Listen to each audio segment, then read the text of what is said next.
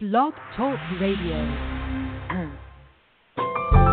Welcome to Last First Date Radio, featuring interviews with experts in dating, relating, and mating in midlife. And now, here's your host, Sandy Weiner. Hello, everybody, and welcome to Last First Date Radio, the place to be for creating healthy, lasting relationships, especially after 40. Today, uh, this is episode number 347, and I'm going to be speaking with speaker, author, and podcast host Simone Molasses. Uh, I think I screwed that up. Molasses. I'm going to get the real drill when we start the show on how to consciously uncouple, how to break up with grace and dignity. And for those of you who are new to Last First Date Radio, I want to share a little bit about my mission. I feel like I was reborn after 50. I got divorced after a 23 year marriage. I got certified as a life coach after spending most of my life as a working artist. And I began a new career as a dating coach for women over 40. And over the last 10 years that I've been doing this work, I realized that what I love most is the deeper work of helping women really own their value, define it, communicate it, to love themselves enough to play bigger and speak up more powerfully and to stand up for the things that matter. Short, I call this the Woman of Value movement, and I have just launched a new website called thewomanofvalue.com if you want to check it out. I am helping women at work. I am helping women all over the planet to really just own their worth and and speak it out for the world to hear. So every week I bring you a tip on how to become that woman of value, and this week's tip is to embrace your beauty. This is particularly relevant to me today because in my Facebook group, which is Your Last First Date, and you're all invited to join us there, there was a whole discussion today about body love and women rejecting their bodies because of of things that men have said to them that they're heavier than men usually like or a man might make fun of a certain body part of a woman and then the woman takes it to heart and feels shame about her body. And i believe that we all are beautiful and that we have to stop letting other people determine what beauty is.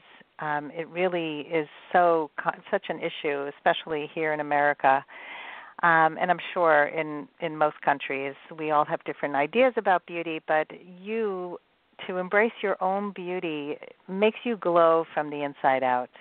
And so I really encourage you to take whatever part of your body that you're rejecting, if you are, to just give it some love today, and um, just love yourself more. All right. So, yes, I just mentioned my Facebook group, Your Last First Date. It is a group for women who are looking for some support and guidance to to find and um, to find love after 40, and to if you are in a relationship, to really continue to have the most heart-centered, wholehearted relationship. Um, this is a place for positive growth we are very, very strict about guidelines so that the conversation doesn't go off the rails. Kindness is one of our top values in the group. So if you're looking for a group that supports all of that, come to your last first date. All right, so uh, my guest today, Simone Molasses, and tell me, am I saying that right? it's Milasas, but that's fine. Everybody gets it wrong. it's not the easiest name in the world, so that's fine. I wrote it out phonetically, and. I'm like, Milasas. Simone Militant. Yes, Milasas. Okay. Milasas. Simone Milasas. Milasas. Yes. Got it. Yes. she is an international speaker. She's the author of Relationship Do You Want One?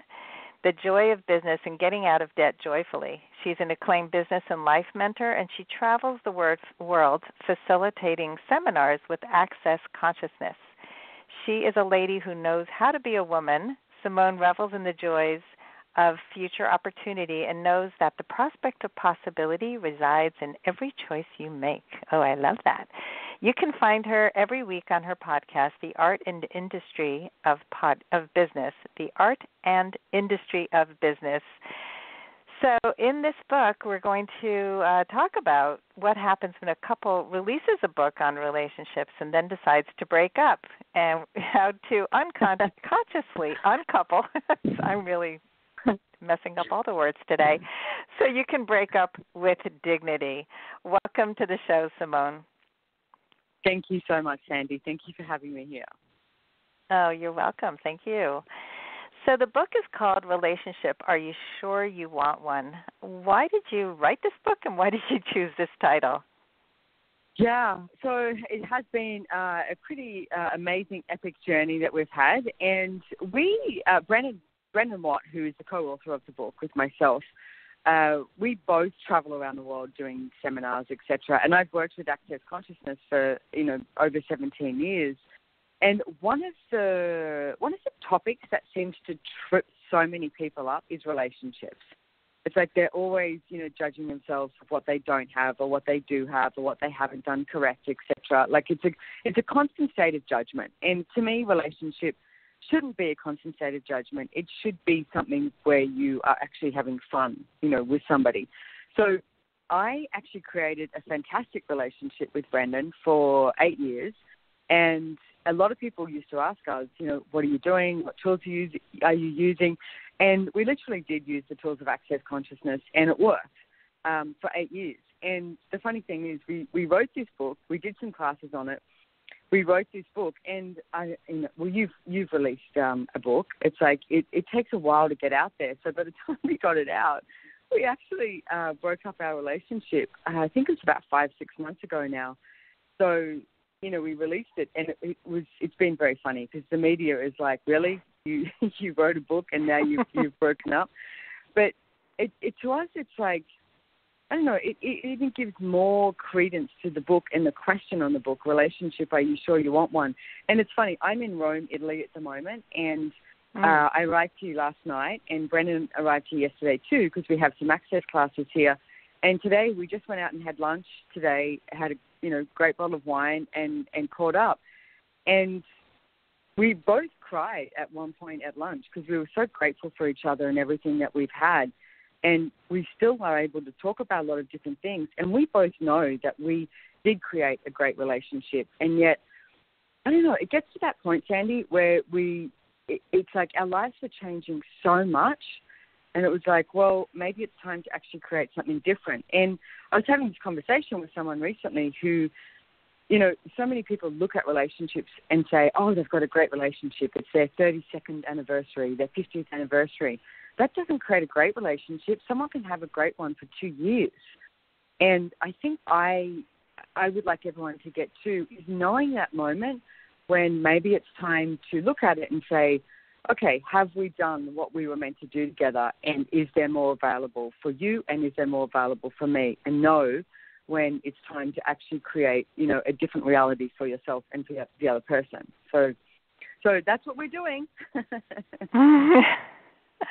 um, so it's, it's interesting that you had a great relationship and then you both realized that it was time to move on. And often it's not true that both parties know that. You know, what would have happened if one of you knew and the other one felt that it was still time to stay? Where do you think you would well, be today with with your relationship with him? Okay, so I mean, Brendan was the one who actually chose to break up the relationship. And I've got uh-huh. to say, I was immediately I was sort of in shock, going, "Oh, I thought we had this great relationship, right?" And then I'm I'm very proud of myself because what I actually started to look at, and you know, with the classes I facilitate around the world, etc., with Access Consciousness, is about being, you know, more present in your choices and having a look at what it is you're choosing. And when I started to look at it, I went, "Wow, he's actually the courageous one, and he's right." For the past, I don't know, like six, eight months or something like that, it wasn't as great as what it could have been. It sort of, and not that it was bad, but it sort of slipped into this place of, I'm going to say, maintenance. And to me, like what I like to nickname a great relationship is creationship. Because if you're going to be in a relationship with someone, you should be creating at least 20 times more together than what you would alone.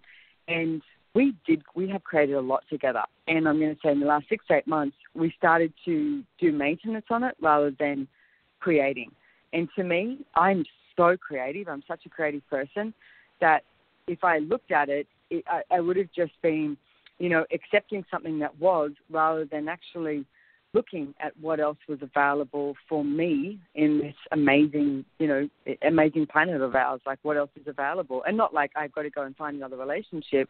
So I I was a little bit shocked to begin with, and yet I I also really care about him, and I honor him so much that I also knew that whatever he needed to do to have more of him, I would always support that, and we always said that to each other as well. And I guess we're a pretty different people like that. Like we do have that. It's like I've always desired for pretty much everyone I know. If if something's going to create something greater for you, please choose that.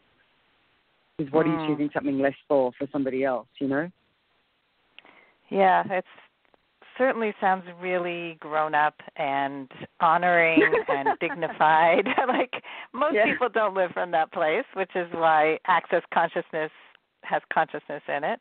Um, yeah. So it is an ideal, I think, to live in that place of consciousness and and um so how yeah, how do how do I want to take a step back to the relationship sure. you did create for 8 years. Um and that you lived in that model of access consciousness or the creationship. So tell us a little bit about what that looked like. Um, well, I think it was totally always honouring of each other right from the beginning of what the other person desired to do.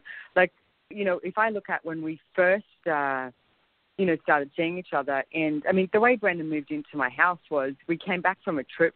Uh, we were in New Zealand, came back, and he looked at me and he said, um, "I don't have anywhere to hang my clothes." I went, "Are you moving in?" And he went, "I think so." and he just moved in. Like it wasn't this big discussion. It was just like, okay, that's the next obvious choice, you know. And I was traveling the world a lot, and I was earning a lot more money, which was, you know, unusual. Like, you know, that's not what this reality says is supposed to happen. The man is supposed to earn more money. The man is supposed to be the breadwinner. And I was earning a lot more money. He was hating what he was doing. Uh, he was a, a tradesman, like he was a tiler, a very good one, but he hated it.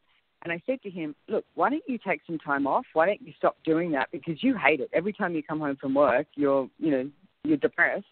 What if you actually chose something different? What if you gave yourself some space? And I said, I'm fine. You know, you're living here. It's good. I've, I've, I've got us. Like, so I actually, he had, he took 18 months off, and I supported. Wow you know him and his um his son like i have a stepson from from being with him but he was so such a contribution around the house like he, we started doing renovations on the house. He was fabulous cook. Like you know i'd i'd be at home sitting at the kitchen bench with a glass of wine my computer open talking to people because i work all over the world and he'd be cooking this fabulous meal. So it was such an, a contribution all the time and it didn't look normal. Like if i was um he took 18 months off to sort of started discovering what it is that he would like to choose to do. And now he's actually a facilitator of access as well. And, and travels around the world and, and, and doing that and, and found out that he had way more talents and capacities in different areas. But the point is, I think that the whole time we were so honoring of each other of like, what is it, what is it that you would like to choose? And I think if you're going to create a great relationship, you've got to let the other person do whatever it is that they want to do like not try and control them, not try and own mm. them. I see so many people in a relationship think, oh, now I own someone. You don't own someone because you're in a relationship. It, it, this person should be someone that you have gratitude for, someone that you're, you know, you're trusting, that you're honoring them, that you have a, a, a level of allowance for them, um, just as much as you have for yourself. And it's this constant state of question, not answer. Like I see relationships uh, becomes an answer and a conclusion when people go, well, I have one now, so you know, can tick that box. And it's like, no, it shouldn't be mm. ticking a box. It should be something that's that's you're this living this adventure, and and I don't mean like you know every weekend or every night you've got to go do something super exciting. It's like it's this adventure of discovering what you could create together, and also creating doesn't have to be you're doing everything together. Like the fact that I travel all over the world and I'd be like, okay, honey, bye, leaving for four weeks, you know, and he would look after everything in the house, you know, from our herb garden, you know, etc. And he would look after that, and I'd be away traveling, and we'd talk to each other, but it wasn't this necessity to have each other close to each other all the time. Does that make sense? Mhm. Yeah, so it sounds Yeah. like very interdependent. You had your own lives, you supported each other's growth and you wanted each other to to do the best they could do. Both you could do. Absolutely. Absolutely. So and then so when Brendan felt that he had more to do outside of this relationship, is that is that kind of where where it went then that he needed to g- grow outside of the relationship? Yeah, like I mean, we that's actually one of the topics that we spoke about today at lunch, and uh, because I I've never I've never been one of those people who needed a relationship. I've had you know Mm. A few different relationships, but I literally did it for the fun of it, not because it was it was a need. Um, and I do see people who need it. And Brendan, we were talking today that I mean he was in a relationship with someone for 12 years. I think when he was like 17, and that's where his Mm. son came from. And then he split up with her, and then was with me within six months. So, and he said, you know, I realized that I definitely function from I need a relationship to create myself, which is not true. And uh, like we were talking today, saying, you know, we both uh, are grateful for the eight years that we had together. And he said, I knew I needed to do something different to find out more about myself.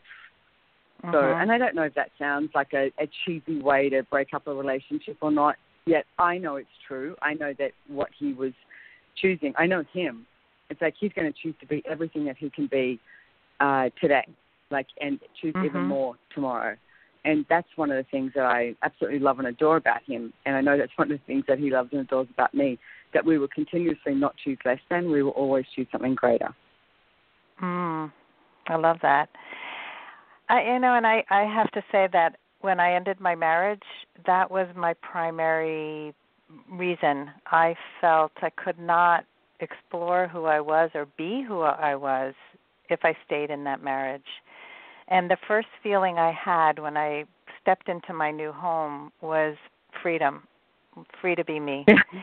and Yeah. it, it was like this amazing feeling because there Yeah. there was like this trapped feeling I had many times that that I was stuck here that there was there was this desire for him to create me in the way that he needed me to be you know everything that you're talking about. And it's I I am a person who values creativity tremendously and growth and having deep conversation and and really exploring things and and and having somebody attend to a conversation um in a way that they're really paying attention and listening and valuing um and I couldn't get that in this marriage. And so I didn't leave for somebody else. I left to save myself.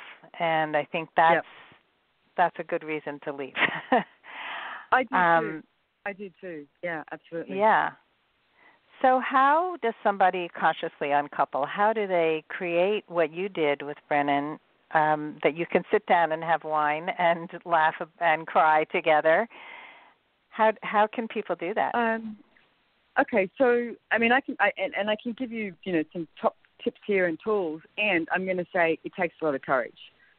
Uh, at, at one stage, we like, I mean, because we've we've got, you know, houses together. It's like, you know, real estate investments, like all of that, and at what we did do with each other was we went, okay. We had a mutual friend of ours, Gary Douglas, who's the founder of Access, said to us, I want you to write down three things that you desire from each other. And it was interesting because he said three things. I I went to oh, it's going to be who gets the house, who gets the dog, who gets the you know things like that. Mhm. And then when I started to look at it and take a moment, and I wrote down three things, and Brendan did too. And then we met together and we went, okay, what's the three things? Interesting enough, the first thing on both of our lists was friendship. We would like to keep our friendship. We'd like to, if if it, if we need to work on our friendship, then let's make that, uh, you know, a choice that we both make. And then the second thing was to do with um, our son because he's my stepson. I've I've had him since he was five. He's thirteen now, almost fourteen. So, and Brendan asked that I still be in his life, etc., and what that looks like. So, what I noticed was it wasn't about things. It was about the the constant creation of a different possibility. And I think if you can look at that and go, okay, what is it that you actually desire from this person? I mean, I saw this Instagram post that Drew Barrymore did, and I thought it was brilliant. She's got this photo of her and her ex husband saying, Everyone said I had the fairy tale now. And she said, I can see how you saw that, and yet, you know, now we're split up, and we've got these two, you know, amazing kids, and I'm grateful for that. And I also desire to remember the sweet and not the bitter. And it's one of the things I see people split up in a relationship. They start going, "Hey, you know what? He did this and he did that, or she she was never this," or and it's like, you know, why would you choose to dishonor someone that you're in a relationship with? What if it was about still being grateful for everything that they were? I mean, I had some great times with Brendan, so and I choose to have even greater times with him as a friend. You know, so honoring that. So I think you've got to have a look at what it is you truly desire and also, um, at one point, we literally were willing to go to create World War Three.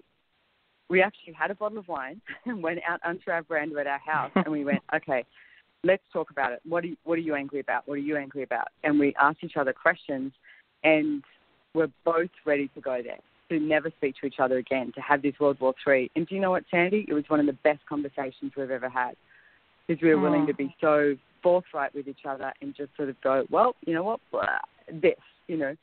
And so we we spoke about everything that was up for each other, and then and also what we want to create. And I think that's the thing that really um, is moved us forward, though, is that we are both honouring of each other of what the other person desires to create in their life and in the world. So it's like, okay, if that's going to create something greater, then let's do that. Let's do this. So, but I think you need to be really uh, honest with yourself of what it is that you'd like to create with the person. And it's funny because Brendan and I work together too, so it wasn't as though we could break up. You know, we, like I said, we have we have real estate. We, have, we own part of a castle in Italy and property in Costa Rica. Like there's things all over the place. So mm. we could make that messy, or we could actually still create together because we have an, an amazing ability to create together. And we spoke about that today as well. It's like you know, do we want to keep creating different things together? Because we, you know, when people get together, there's certain people who get together and their creative capacity together is quite phenomenal. Like we have mm-hmm. that. So do we want to keep doing that or do we actually want to split things up or what is that? And to me, if I look at it and say, okay, so where would my life be like in five years, 10 years if we split everything up now? Or if we kept these things and kept the growth um, occurring, you know, what would that be like? So it's sort of this constant state of question, and I think you need to remain in question of what works for you and what works for them. Not going into yeah. the conclusion of what you've decided something should be. And it's like if you get angry or frustrated, ask yourself, what are you angry about here? Like, what are you frustrated? Like, this is the person you actually chose to be in a relationship with in the first place. So, you know, do you really hate them or is there something else going on? You know, I think mm. people get a little bit uh, caught up in their emotions, and rather than looking at, okay, so what's actually really going on right now? What is it that I would really like to choose? And what yeah, how, knowing, how do you feel about this person? Mhm. Knowing you're at choice is a big one too. Absolutely. Yes, you do have choice. Please get that, everyone listening out there. You have choice. You can choose anything. And I love your introduction to the show as well that you are, you know, talking about, you know, relationships, etc., for women over over forty, over fifty, because I see so mm-hmm. many people who go, oh no, now I don't, I don't have choice anymore. I'm too old. It's not true. Mm.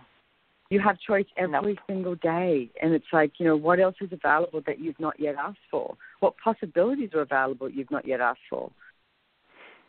Yeah. So no, I, I'm so with you. I I you know, I just I'm always creating. Obviously, I'm 62 and I just created a new business and it's like I can't wait I for what's next, right? It's it's yeah. like we we have these choices and I remember my my father used to say, um, "Oh, I'm not like you. You know, you have these abilities, I don't." And I'm like, "No, that's not true. I just work hard at it and don't give up." Um but yep. you know, this whole idea of creation really excites me because it's one of the reasons I married my husband. He is a comedian and um a puppeteer and I was an artist. We worked together, and that was where we really shined. It was co-creating a TV show for children and um, creating many pilot projects and and writing comedy together. I mean, that was that was fun and exciting, but it wasn't the end of my dream. It was more of me Yeah. being a supporting role in his dream. So that was really the catalyst for me just stepping out on my own and figuring out what that was. So let's let's but I love that about like you you have but you have that with your your ex husband and it was great. Doesn't mean it Mhm. has to go on forever. You know, it's like eating a great meal.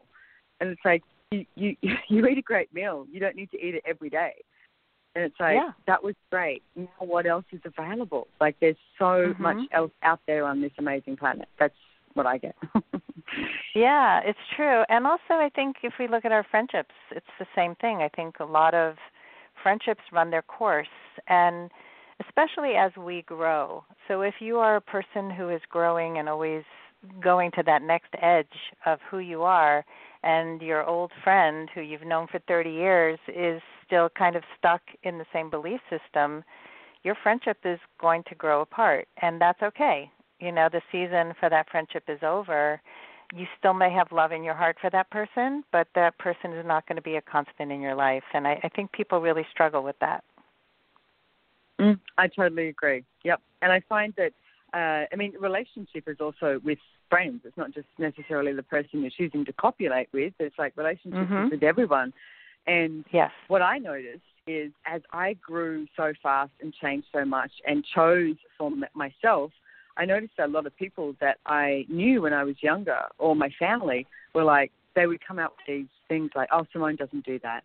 Or Simone wouldn't choose that. Or Simone. And I was like, wow, people are like boxing me in to what they've decided is this predictable choice rather than I'm like, no, actually, I- I've changed and I change every day.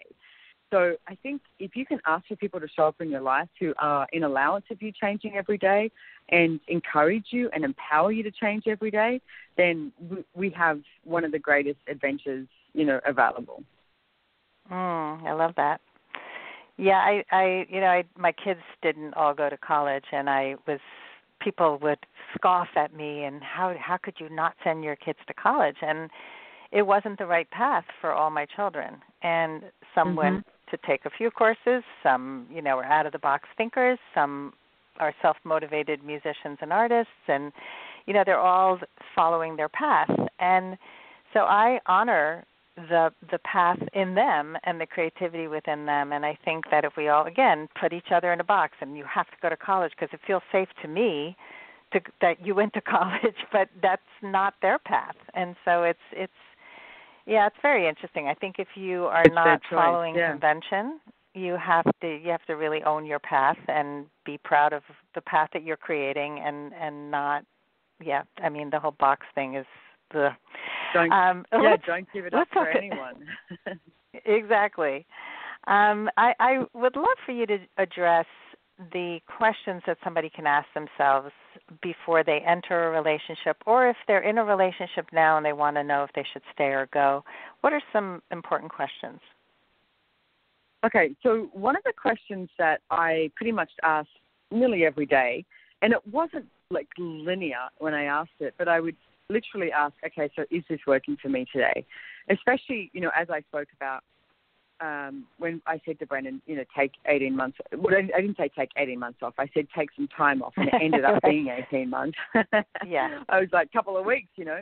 No, but I every day because a lot of the times I was so creative, and I'm one of those people who wake up and it's just like, you know, boom, let's go, and uh, and he would be depressed uh, quite a bit, or you know, lying on the couch and you know having a couple of beers, and I'd be running around just like, boo, boo, boo, like creating. And I remember at one stage he said to me, "Will you stop being so happy?" And I looked at him and I went, "No," but I was okay with him not being happy. I was not going to change me, but I was okay with that. And he looked at me and he went, "Do you know how hard it is to be unhappy and depressed when you live with someone who's happy?" and I just Mm. cracked up laughing. And then so did he. And he was like, "My God, this is crazy." But every day I still ask, "Is this working for me today?" Because people would be like, "Why are you with him?" And I was like, "It's a contribution. Somewhere it's a contribution." And I didn't have to work it out. I didn't have to go to the linearity of like how is it a contribution. I looked at the energy of it and was like, yes, this is a contribution. So have a, have a, ask the question: Is is this relationship working for me today? And I don't mean like, no, it's not, and then get all like fiery. It's like you'll know, and it's not something you even have to discuss with your partner. You'll know, and then if you get this energy of like, mm, maybe it's not, then you might want to have a look at it and ask, okay, so is there something I can change here? And it's like, what can I be here, and what can I change, and what can I do different? Because if you don't do your relationship different, then you will get to that stage where it's about maintenance. And yeah, it's not very exciting. Most people get bored with the maintenance of something rather than the creation of something. And ask, it's like, will this person, you know, contribute to me? Um, also ask for, like what I started asking for is someone who is kind, caring, and nurturing to show up in my life. And that's when Brendan did show up. And he, he is one of the most kindest, caring people I know. So did he have money that was supporting me and doing all of that? No, but I had enough money. I was fine. So he was kind, caring, and nurturing, and was uh, you know was available for me. So don't look at the the rules of this reality, like of what a relationship is supposed to be, because there is no relationship that is the same as another one. So choose what works for you. So don't choose what somebody is projecting at you that it should be and ask questions around that. Is this relationship going to work for me? Will it be fun? You know, will I learn something? Like, will we create something greater? Like, keep in the question, be in the question, and always, you know, be willing to uh, change something, you know, choose something different, and be an allowance of the other person. Hmm. I, I really love these questions because so many people are taking the outside projections as their reality. And we just had a question like this in our Facebook group about what other people were saying about this woman's relationship, and she's starting to doubt herself. And so I threw the questions back at her. And, you know, how do you feel? How how is this working mm. for you? Because they don't know you. They are not walking in your shoes. They have no idea what your life experience is, what your relationship really is. You're the one who's living with this reality. And most people have a hard time trusting themselves. So it's it's really getting back into the depth of who we are and what we need in order to create what works for us. And I think you really like that trusting yourself, that's really important. And it's like trust what you know not what somebody else is mm. telling you. I mean, when I, you know, Brendan was actually 11 years younger than me, so I, you know, got the nickname of I had a toy boy, and because there's a lot of judgments that come with that, you know, and uh, the toy boy.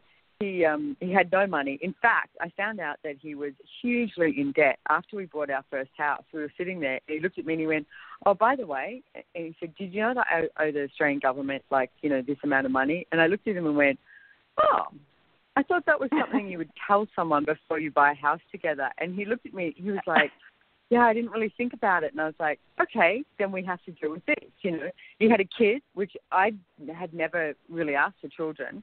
He had a dog, which I was pretty happy about the dog because I always wanted a dog, but never thought I could commit to it.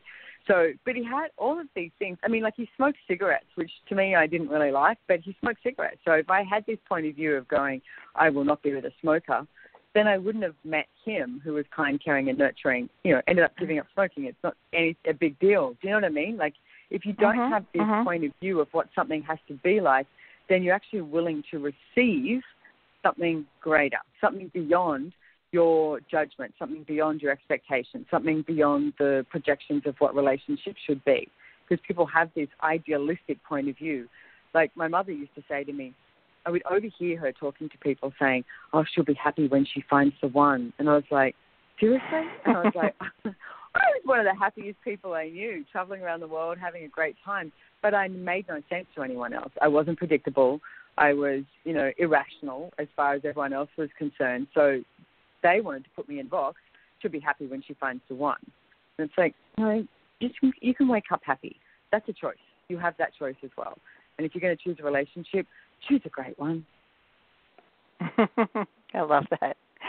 Um, yeah, and I and I think that this is what you just said also about the fact that he was a smoker and and you know that wasn't your ideal that wasn't what you were looking for but with all the qualities and the traits that he had those became more important and you know the debt all those things those those are things that we can matter. work through usually right it doesn't matter Absolutely. in the end and and in in the facebook group there's some wonderful relationships that women have and they're all relationships like this these are women who threw out their list who fell in love with somebody they never thought they would fall in love with, somebody who made a lot less money than they thought they needed, that had different kind of education than they thought they needed, who smoked, who had, you know, all these issues, All but they fell yeah. madly in love.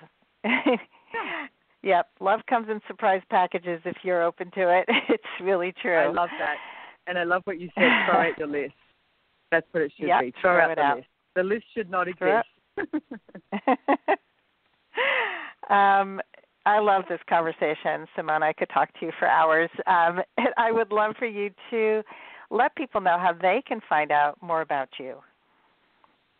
Well, uh, I've got many websites, but the first one I would go to on this is the the one for our book. It's called Relationship. Are you sure you want one.com? So it's nice and easy, and on there you can actually get um, there's a download of me reading a couple of chapters, and there's a, a course that we have on there, etc. So you can, and of course you can buy the book, and it's very um, it's very vulnerable. The book there's a lot of stories in there where Brendan and I really sort of tell all because why not? It's like we figured it was it was going to empower other people to realize that they don't have to hide stuff either. So we do we go everywhere, and it's it's quite humorous. So relationship, are you sure you want one? Is a good start.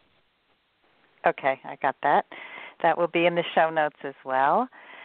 Um, Simone, you have such great energy. I love it, and I think I can pronounce your last name. Milasas?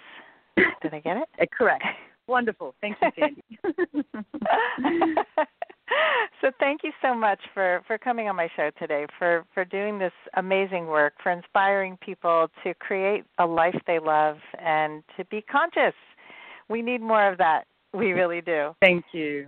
Thank you. And I want to thank you too for what you're doing. I think it's a brilliant uh, topic and a brilliant, uh, you know, uh, podcast and the, the Facebook group that you have. I, I love I love that you're empowering women to know that it's not the end if you're, you know, over 40, over 50, etc. It's wonderful. So thank you for being in the world too. and thank you for having me on oh here. thank you Thank you.